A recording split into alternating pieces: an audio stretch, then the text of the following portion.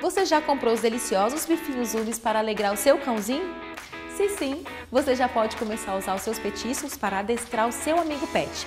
Lançamos um curso de adestramento gratuito especialmente para os nossos clientes. Então acesse www.lojasumes.adestramento.